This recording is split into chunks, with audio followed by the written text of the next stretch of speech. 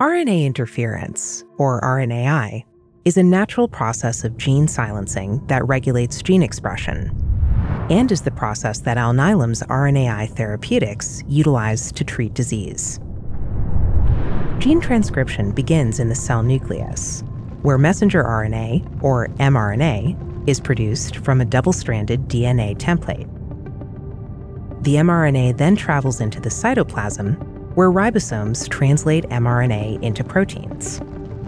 Proteins mediate all cellular processes in both the normal and disease setting, with certain proteins involved in the cause or pathway of disease.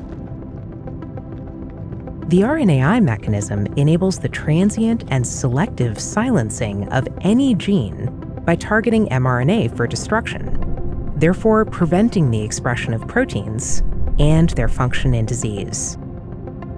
Alnylam's RNAi therapeutics harness the function of small interfering RNA, or siRNA, the molecules that mediate RNAi, by chemically synthesizing and administering gene specific siRNA molecules to direct gene silencing. An siRNA is a short oligonucleotide duplex with a sequence complementary to the target mRNA an siRNA forms a protein RNA complex called the RNA induced silencing complex, RISC, causing the siRNA to unwind, leading to the complementary functional guide strand being loaded into RISC.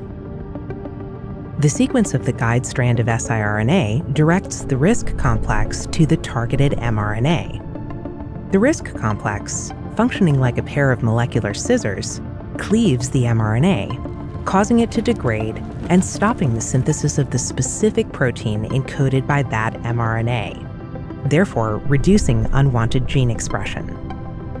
Furthermore, the functional strand loaded RISC can target more copies of the same mRNA and destroy them.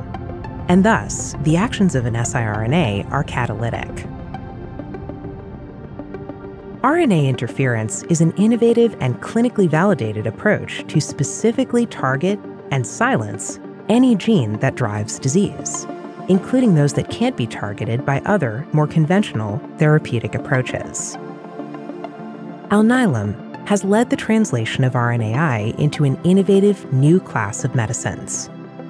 Our products and robust pipeline of investigational medicines are focused on multiple therapeutic areas, including genetic diseases, cardiometabolic diseases, infectious diseases, and CNS and ocular diseases. However, we are continually exploring other disease areas where we believe RNAi therapeutics can have an important impact